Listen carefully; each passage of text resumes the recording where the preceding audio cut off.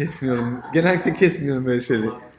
Ondan sonra tamam. Burada mesela Lee'yi yapmıştık en son. Gördüğünüz gibi artık alt alta geldi bunlar. Ama kadında alt alta gelmemiş çünkü onu düzeltmemişim. Burada da düzelteyim. Bir tane Lee olsun demişim. Ve şurada da Lee'yi kapatmışım. Klası da olmasın demişim. Bunlar da alt alta geldi. Gördüğünüz gibi. Süper. Şimdi bir de page yapacaktık. Yine ne yapacağım? Nav kontekste geleceğim. Ve diyeceğim ki nav datanın içerisinde olacağı için yine buraya koyabilirim. Nerede olacak? From page'in altındaki models'ın içerisindeki import page. Şuradaki statüsü de aldım. Sonra from e, page'in altındaki views'ın içerisindeki import status dedim. Böylelikle şuraya da statüsü kullanabilirim artık. Ee, daha sonradan da ne yapacaktım? Konteksten, yani bu yazma şeklini nedense seviyorum. Pages diye yazalım.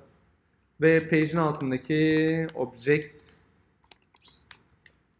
e, filter ne? Yine aynı şey. O yüzden de status ve burada order by title'da diyelim. Bu da dursun. Şimdi bunu dedikten sonra yine footer'a geliyorum. Footer'a geldikten sonra da şurada her zamandan sonra bilgi kısmı var. Şu bilgi kısmında da şunun aynısını alıyorum.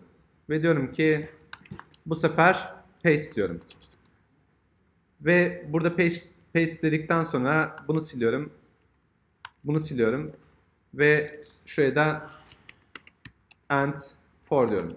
Bunu dedikten sonra kaydedip kapatıyorum. Bu sefer istediğim kadar burada şey olacak. Page olacak. Burada bir tane page varmış? Bakalım. Admin sayfasına. E, localhost. Admin. Page'e geldim. Burada 5 tane page var. Ama silindiler varmış.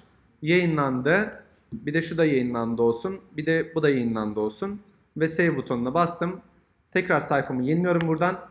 Ve burada bu kadar item var ama isimleri gözükmüyor. İsimlerinin gözükmemesinin sebebi ben yazmadığım içindir. Geldim. Sonra dedim ki item nokta title. İşte gördüğünüz gibi şey bütün kodumun benzer şekilde yazmam eğer düzgün yazabiliyorsam akıllı e, yazabildiğimi düşünüyorsam o zaman bütün kodum birbirine benzediği için hemen item'ın title'ı diye yazıp olayı kapatabiliyorum her yerde. Bir daha bir daha uğraşmıyorum ve baktığımız zaman da hakkımızda iletişim, iade şartları gibi sayfalarımın isimleri burada çıkıyor.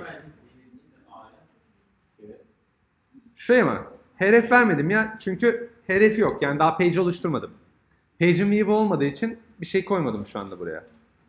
Ama gördüğünüz gibi artık context prosesörden iki tane bilgi geliyor. Yani nav context prosesöre geldiğim zaman ee, burada artık iki tane bilginin olduğunu biliyorum. Şurası ve şurası diye biliyorum. Hatta şundan enter'a basayım.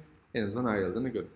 Bu şekilde de ben artık context prosesörle birlikte iki tane ayrı bilgi gönderdim. Bir tanesi page'in bilgisi, ikincisi de categorizm bilgisi.